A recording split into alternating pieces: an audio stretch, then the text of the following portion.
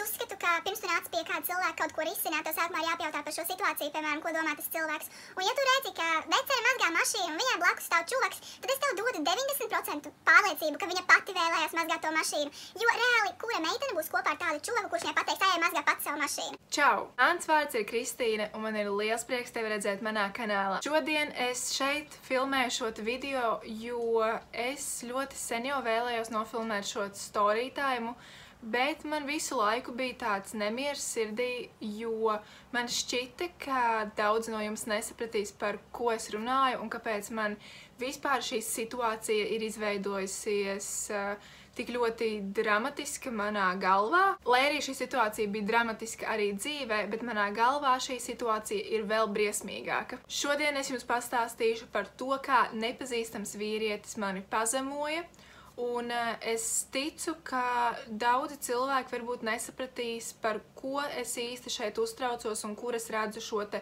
pazemošanu. Varbūt jūs nesapratīsiet, bet es tāpat tās aicinu jūs visus cienīt manu viedokli, tāpat kā es cienīšu arī jūsu viedokli, ja jums ir savādākas domas. Iespējams, ka šeit mēs nedaudz saskarsimies ar feminismu, to, ka Man šķiet, ka sievietes ir vienlīdzīgas vīriešiem un katram cilvēkam uz šīs pasaules ir sava izvēle. Mums katram ir jābūt pilnīgi vienādām iespējām, un šajā situācijā, kas man notika, par kuru es jums pastāstīšu, es uzskatīju, ka vienkārši mani noliek par pēdējo mēslu. Lai jums būtu skaidrs, Um, es esmu cilvēks, kas uzskata, ka gan sievietes, gan vīrieši var darīt vienu darbu. Man šķiet, ka ir pilnīgi ok, ja sievietes strādā par virpotāju, metinātāju, par automehāniķi. Ja tev tas patīk, Go for it! Kāpēc nē? Kāpēc nē? Un tāpat arī vīrieši, ja jūs gribat būt manikīra speciālisti vai jūs gribat, es nezinu, strādāt par frizieru, par ko vien vēlties, dara to, kāpēc nē, vai ne? Nav tāds sieviešu darbs un vīriešu darbs. Manuprāt, ir darbs un vienkārši tu gribi strādāt par to, ej strādāt, tu gribi strādāt par to, lūdzu, visi ceļi ir atvērti. Un tāpat tās arī ir ar pienākumiem mājās, tāpat tās arī ir vienkārši ar visām, visām apkārtējām lietām. Piemēram, gatavot ēst nevienmēr ir sievietes darbs. To var darīt arī vīrietis. Uz pasaules ir kaudzēm sieviešu, kas nemā gatavot un nevēlās to darīt. Un es uzskatu, ka tas ir pilnīgi normāli. Tāpat arī vīrieši Citi uzskata, ka gatavot ēst ir vīriešu darbs. Piemēram, mans tēvs ir šefpavārs, un tas viņu nepadara par uh, sliktāku vīrieti. Un tāpat uz pasaules ir ļoti daudz foršas uh, automehāniķis vai braucējas. Tā kā tas ir pilnīgi ok, vai ne? Es domāju, jūs sapratāt, par ko es runāju. Es uzskatu, ka ja tev kaut kas patīk, tu vari to iet darīt. Ja tev nepatīk, tu vari to nedarīt. Piemēram, es negribētu būt automehāniķi, es uzskatu, ka tas nav priekš manis, tāpēc es to nedaru. Bet tāpat vienā mirklī varbūt es izdomāšu būt metinātāja un kas ar to, ka es esmu sieviete un tas skaitās vīriešu darbs. Jūs sapratāt, par ko es tagad runāšu, vai ne? Nu, lūk, un tagad mēs varam atgriezties pagājušajā vasarā. Ja nemaldos, tas bija apmēram maijā vai jūnijā, un bija tāda situācija, ka mēs bijām ar manu draugu, ar manu puisi aizbraukuši nomazgāt mašīnu. Un es teikšu tā, es kādreiz liku tiesības, es tās nepabeidzu faktiski autoskolas dēļ, jo es vienkārši fiziski nespēju nolikt teorijas eksāmenus, uz viņu gāju vienkārši miljoniem reižu. Man katru reizi bija kaudzēm kļūdu, kaut gan pildot, piemēram, mājās CSDD testus, man vienmēr viss bija kārtībā. Man nav mašīnas, līdz ar to man nav bijusi tā bauda, kādreiz braukt ar mašīnu, man nav bijis tā bauda mazgāt, remontēt un tā tālāk. Man patīk tās lietas. Un tādēļ es savam draugam palūdzu, vai es varētu nomazgāt tavu mašīnu. Es to vēlos izdarīt. Un viņš ir normāls cilvēks, viņš pateica, gribi, lūdzu, dari, manis pēc. Nu, lūk, un šis notika Ventspilī, un uh, es mierīgi daru savas lietas. Viņš iemeta naudiņu iekšā, Um, viņš man iedeva to pistoli, ar kuru mazgāt. Es tur daros kārtīgi, visu forši izbaudu savu burvīgāko laiku. Iedomājieties, ārā ir smuks laiks, tu dari to, ko tu vienmēr esi gribējis izdarīt, vai ne?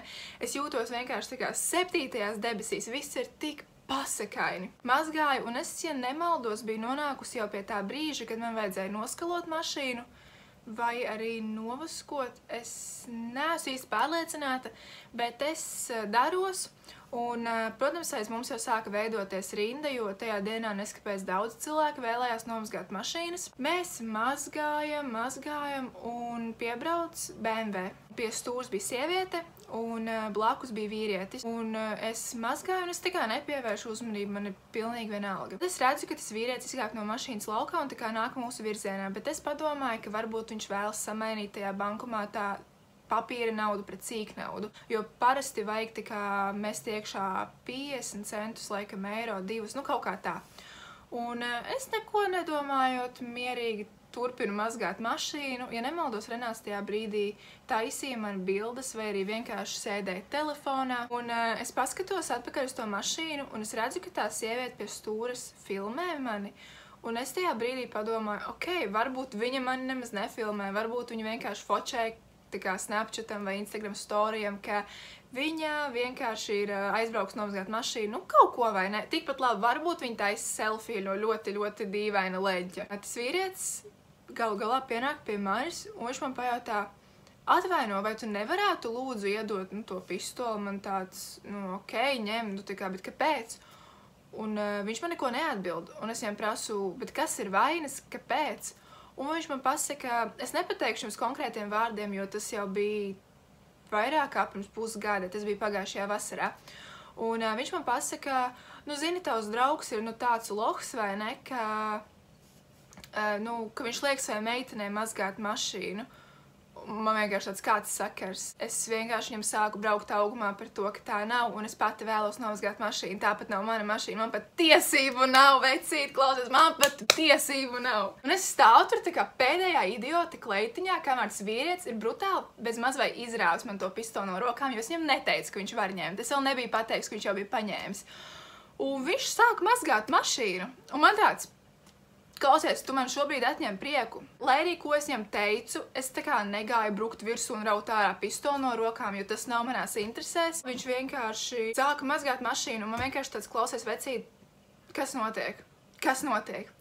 Pa to laiku Renāts vienkārši stāv, skatās, vienkārši ieliec galvu un tāds, what fuck, kas notiek. Um, un tad tas vīrietis ieda apakaļ man to pistoli un aizgāja projām. Un uh, lieki piebilst to, ka tas viss bija tik īsts moments, ka Renāts pat nepaspēja pieiet pie viņa, tāpēc, ka mašīna bija tikpat kā nomazgāta. Un uh, es atceros vienkārši, ka es stāvēju tādā šokā, man bija tāds, kāds sakars, tu vispār zini, tajā, ko es vēlos, tu esi nepazīstams vīrietis. Un visu to laiku arī um, tā sieviete filmē, es pēc tam paskatījos, un viņa tiešām filmē. To uzreiz varēja saprast, ka viņa filmē. Tad, kad es jau otro reizi paskatījos, man bija viss skaidrs.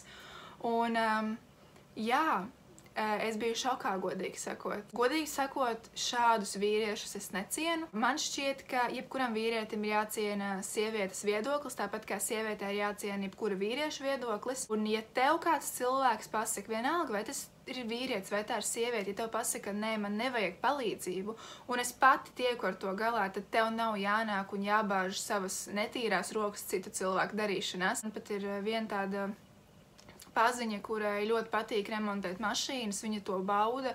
Viņai patīk mazgāt arī, es zinu, viņa daudz reizes braukus, viņai arī ir bijušas tādas situācijas, un uh, man vienkārši šķiet pretīgi, ka ir tādi vīrieši, kas vienkārši neciena to, ka var būt savādāk. Tas, ka es stāvu kleitā un kurpītēs, un uh, tas, ka man ir sataisīta matu man ir pilns make-ups, nenozīmē to, ka es nevaru paņemt uh, un nomazgāt mašīnu. Tas mani nedefinē kā cilvēku. Man ir varbūt augstspējuši kurps, nenozīmē to, ka es vakarā nenodarbojos ar boksu vai ne zālē.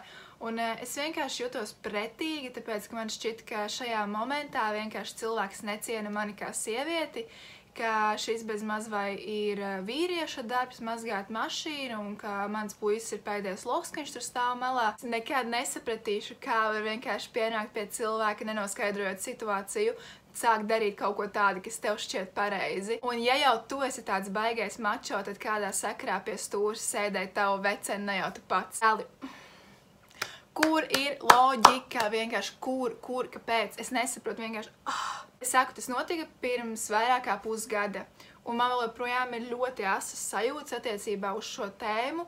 Man vienkārši ir pretīgi domāt, ka uz pastāvles staigā tādi tādi cilvēki, kas vienkārši uzskata, ka viņi var pienākt un uh, sākt uh, darīt to, kā viņi uzskata pareizi. Un uh, man vienkārši liekas pretīgi, ka kāds spēj vienkārši ielausties tavā privātajā teritorijā, kāds vienkārši spēj sākt norādīt, ko tev ir jādara un ko tev nav jādara. Es tiešām cienu arī Renātu par to, ka viņš negāja momentāli tur sist viņam pa muti, tāpēc, ka tad būtu vēl trakāk vienkārši, jo es vispār neatbalstu, ka kāds tur iet kādam dot pa muti vai kaut ko iet skaidroties. Es eh, personīgi labāk vienkārši tādiem cilvēkiem ļauju man tāds lūdzu, ej, dari, ko tev vajag.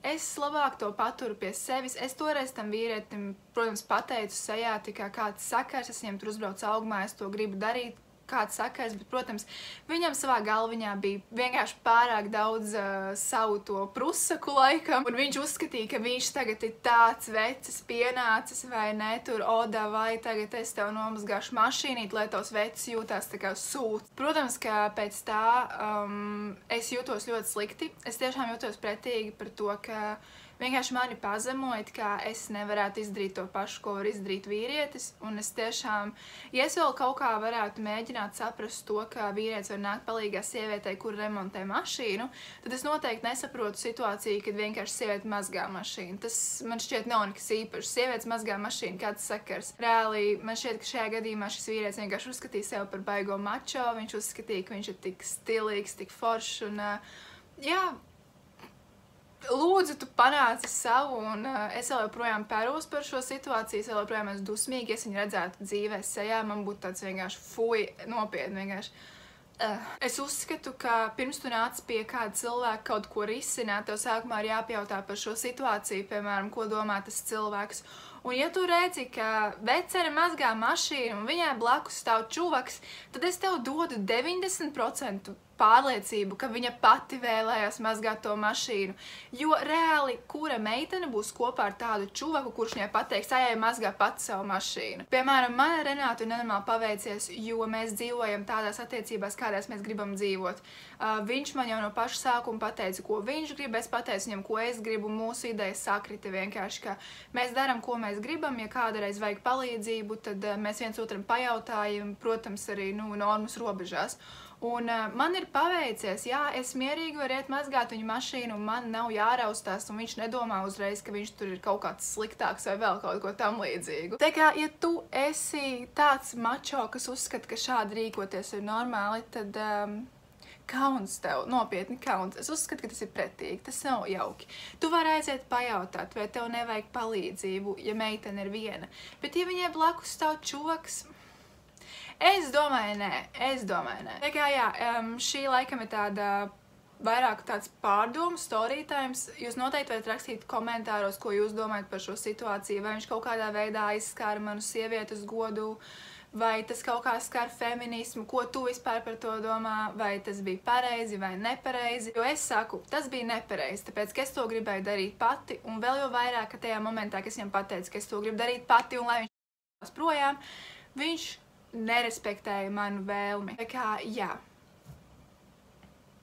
Droši komentāros raksti apakšā, ko tu domā. Es respektēju katru cilvēku viedokli, ja tu uzskati, ka viņam bija taisnība, ok, fine, dzīvo tālāk ar tādu viedokli, es dzīvošu savējo. Un tad jau tiekamies manā nākamajā video. Atā!